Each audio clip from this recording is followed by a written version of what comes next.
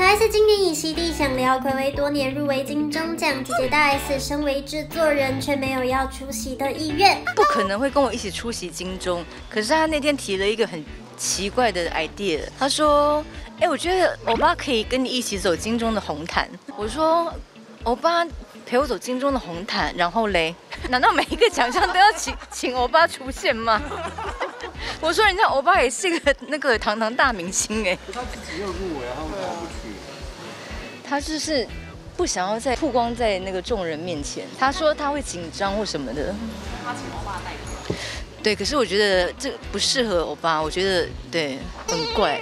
而日前同样入围综艺主持人奖的吴宗宪表示自己不知道小 S 回到综艺圈，小 S 也对此大方回应：哦，没差啦，因为他现在应该比较 care 那个卡拉轰天雷吧。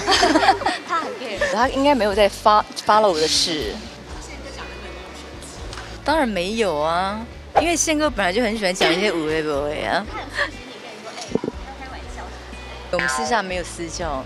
这次综艺节目主持人奖的对手还有就爱黄子佼，至于曾宝仪则是入围生活风格节目主持人奖。三人将在典礼上的同台也引人注目。可是我们已经在某某次金马奖不是已经 Q 过了吗？我是怕我 Q 了，然后别人会说老梗呢。你说得奖的是我，却不是娇娇，是不是？